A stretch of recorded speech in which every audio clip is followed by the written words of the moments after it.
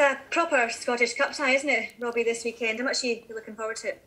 Yeah, I'm looking forward to it. It'll be a good game, good atmosphere, good crowd. I went down there last week to watch them and you know, it's quite an intense atmosphere and it's, yeah, we're looking forward to going down and hopefully getting a result.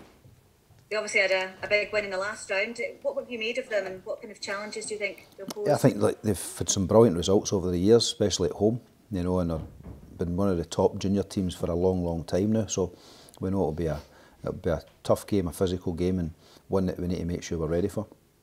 Is it something that excites all the players as well, being involved in a, a Scottish Cup, a kind of traditional romance of the cup tie? Yeah, well, it, it takes you away from the league a wee bit, you know, and also this is an opportunity for us to hopefully get some trophy trophy wear, but we have to take care of each game as it comes, and you know, all starts on Saturday, and we're looking forward to it.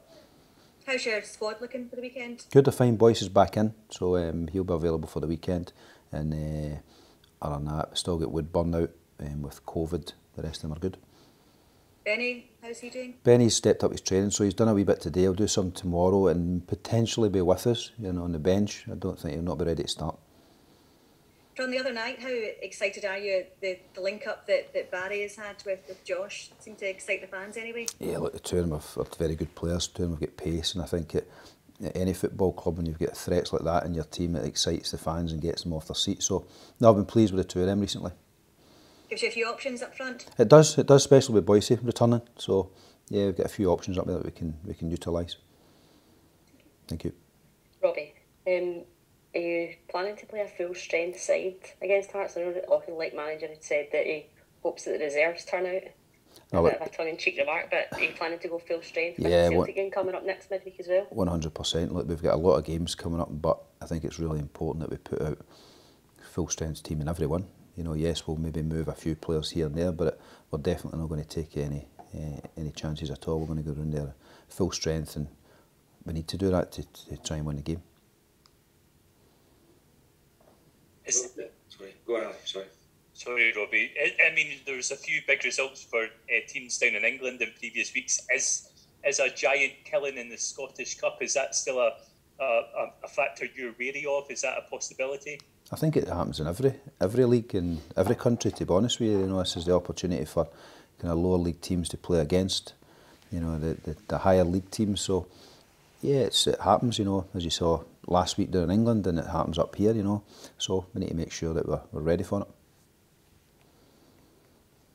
Robbie, is this outside of maybe a, a fellow Premiership club? Is it one of the hardest kind of ties you might have, have got away to Auchinleck given their, yeah, I think, what they've done recently? I think eh, when the draw comes out, everyone wants a home game.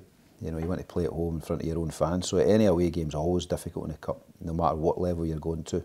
It's always a difficult one. You know, I've played them, you know, over the years, and they're all tough. So we know that this is going to be a hard game on Saturday. It's one that we have to make sure we're very, very professional going into it, and you know, make sure we, we put on a good performance to get through.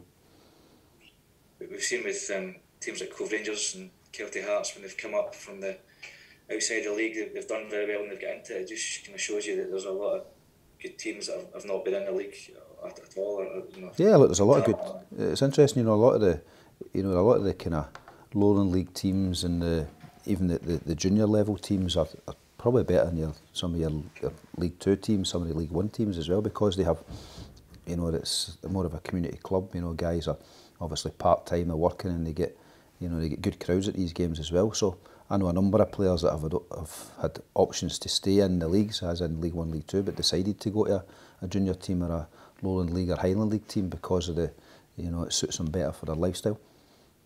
We had to maybe, maybe for so many players who are not from Scotland, maybe kind of drum into the drum into them what what looking like how Talbot are all about, and the, you know the, the history they've got. That even though they're not a league team, that they are really dangerous.